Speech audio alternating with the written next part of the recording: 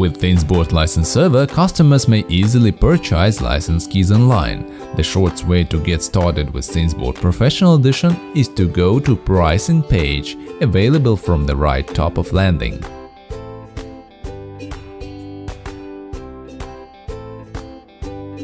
In this guide, we'll learn how to obtain a perpetual license.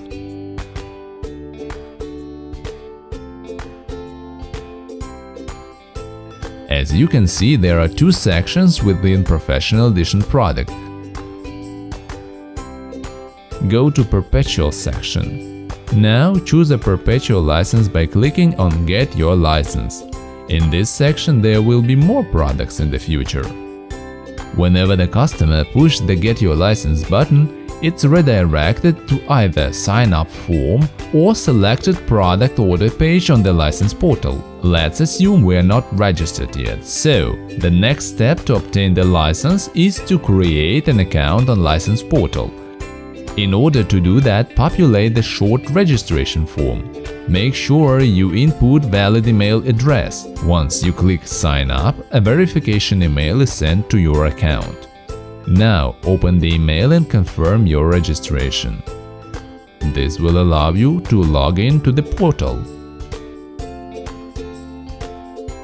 You will be routed directly to the order page with chosen license. All products licenses with full descriptions are available from the license portal. Next time you want to obtain the license, you may omit visiting pricing page. On Create Perpetual License page there are the info about the chosen product, Perpetual, Package, a license plus a year of updates. There is also a coupon field. Time after time, we distribute coupons with different value discounts. Stay tuned to our news and updates to get your promo code. I'll use a special coupon with huge discount just for a demo purposes. As you see, the total sum is lower than the basic rate. Next step – Billing info. Click Create a license and billing window appears on the screen input valid data and complete obtaining your license. ThingsBoard has no access to your card details and not store that data. All billing processes are managed with Stripe, so you can be sure that your account is safe. If you try to use invalid card, Stripe will alert a notification.